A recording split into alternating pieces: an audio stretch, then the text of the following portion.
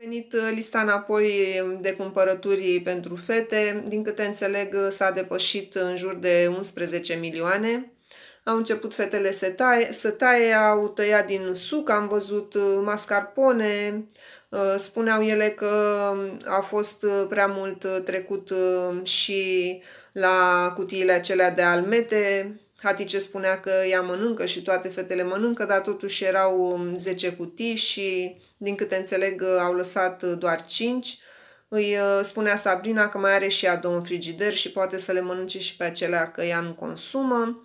S-a ajuns la pieptul de pui, unde Hatice a spus, eu zic să se șteargă uh, pieptul de pui, a intervenit uh, Irina, a spus că mănâncă toate fetele și că sunt lucruri, alte lucruri care se pot șterge de pe listă, să nu șteargă pieptul de pui.